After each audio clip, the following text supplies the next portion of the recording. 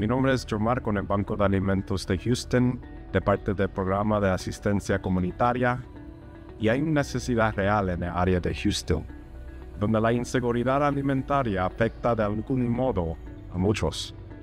El programa de asistencia comunitaria se esfuerza por evaluar estos obstáculos, ayudando a nuestros vecinos a solicitar programas de asistencia del gobierno y otros recursos esenciales.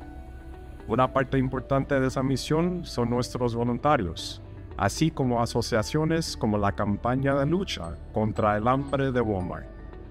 De esta manera podemos llegar a aquellos que se preguntan cuándo llegará su próxima comida.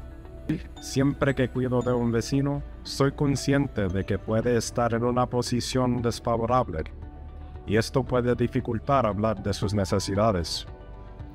Comunico el proceso con claridad con el objetivo de que cuando terminemos el vecino se haya beneficiado de alguna manera del encuentro.